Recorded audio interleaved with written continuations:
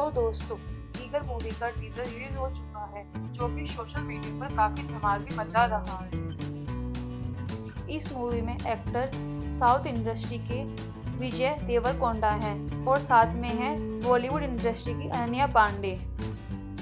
लेकिन इससे भी ज़्यादा इम्पोर्टेंट बात यह है कि जो इस मूवी में एज ए विलन का रोल प्ले कर रहे हैं वो इस टाइम काफ़ी चर्चा में बने हुए हैं, क्योंकि आपको जानकर हैरानी होगी जो इस मूवी में एज ए विलन काम करने वाले हैं, वो रियल लाइफ में हीरो हैं। जी हाँ हम यहाँ पर बात कर रहे हैं अमेरिकन बॉक्सर माइकल टाइसन की, जो कि आयरन माइक के नाम से भी फ़ेमस है।